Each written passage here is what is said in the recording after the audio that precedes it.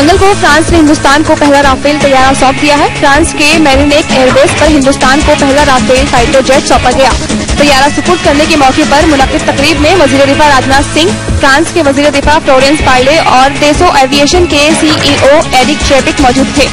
इस मौके पर राजनाथ सिंह ने कहा कि राफेल का मतलब आंधी होता है। मुझे उम्मीद है कि ये अपने नाम को साबित करेगा। बुराई पर अच्छाई की जीत की अलामत दशहरा मुल्क भर में धूमधाम से मनाया गया। जगह जगह रावण के पुतले के साथ ही मेघनाथ और कुंभकर्ण के पुतले फूके गए। दिल्ली में वज़ीर आज़म नरेंद्र मोदी ने द्वारका के सेक्टर 10 में वाक़ डीडीए ग्राउंड में 107 फीट ऊँचे रावण के पुतले का दहन किया। इस मौके पर मोदी ने कहा कि हिंदुस्तान त्योहारों का मुल्क है और साल भर में शायद ही कोई दिन हो जब यहाँ त्योहार न हो।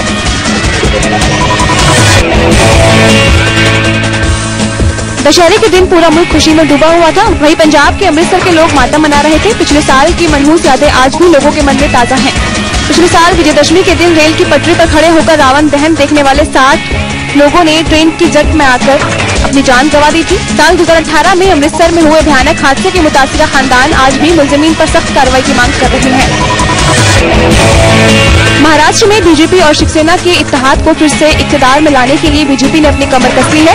महाराष्ट्र के बीड में अमित शाह ने रैली की। उन्होंने जम्मू कश्मीर में आर्टिकल तीन हटाने का ज़िक्र करते हुए कहा कि मोदी सरकार ने अब तक आवाम के जज्बात के मुताबिक और मुल्क के मफाद में फैसले लिए हैं।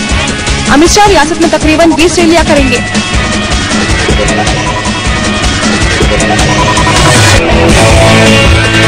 वज़ीर आला की कुर्सी के लिए अभी भी दोनों पार्टियों में रस्साकशी जारी है। चेहरे के मौके पर शिवसेना लीडर संजय राउत ने कहा कि अगले दशहरा रैली में पार्टी सरबरा उद्धव ठाकरे के बगल शिवसेना का ही वज़ीर आला बैठा होगा। उन्होंने ये भी कहा कि असेंबली इंतखाब में हम सौ से ज़्यादा सीटें जीत रहे हैं। उन्होंने ये भी कहा कि नोटबंदी के खिलाफ किसी की बोलने की हिम्मत नहीं हुई, लेकिन उद्धव ठाकरे ने बोला।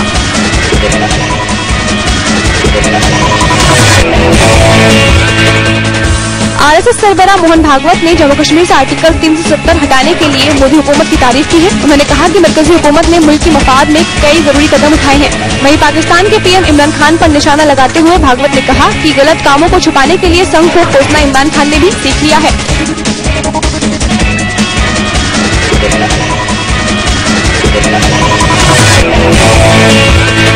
सबक वज़ीर दाखिला स्वामी चिन्मयानंद मामले में अखिल भारतीय अखाड़ा परिषद ने यूटर्न ले लिया है। अखाड़ा परिषद के सदर महेंद्र गिरी ने स्वामी चिन्मयानंद का साथ देते हुए कहा कि वो हर तरह से चिन्मयानंद के साथ है। स्वामी चिन्मयानंद के साथ नाइंसाफी हुई है। ऐसे में अखाड़ा परिषद उन्हें अकेला नहीं छोड़ सकता। महेंद्र ने रेप मुतासरा पर इल्ज़ाम लगाते हुए कहा कि स्वामी चिन्मयानंद को नशीली दवा खिलाकर उन्हें फंसाने की साजिश रची गई है। यूपी के कांग्रेस सदर के नाम का ऐलान कर दिया गया है। अजय कुमार, लल्लू को रियासती कांग्रेस का सदर बनाया गया है। अजय फ़िलहाल कुशील नगर के तमकुहिराज असेंबली सीट से एमएलए हैं। अजय कुमार, लल्लू को राजबत्तर की जगह पर रियासती कांग्रेस सदर बनाया गया है। रियासती सदर बनाए जाने के बाद उनकी जगह पर आराधना मिश्र लेजिस्लेटिव पार्टी की लीडर होंगी।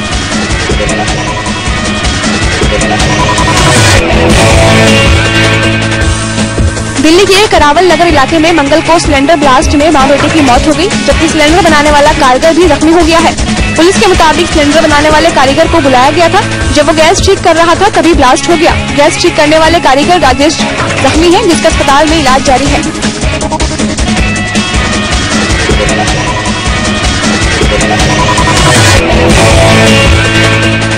एमआई सत्रह हेलीकॉप्टर को सर्विस देने वाली निजी कंपनी पवन हंस के अफसरान पर फंड की हेराफेरी के मामले में सीबीआई ने केस दर्ज किया है। कंपनी के अफसरान पर इल्ज़ाम है कि एमआई सत्रह हेलीकॉप्टर की मरम्मत के लिए अफसरान ने एक अशारिया बयासी करोड़ रुपए की हेराफेरी की है। पैसे रूसी कंपनी के खाते में जाते थे, लेकिन किसी इंडोनेशियाई खाते में डाल दिया गया।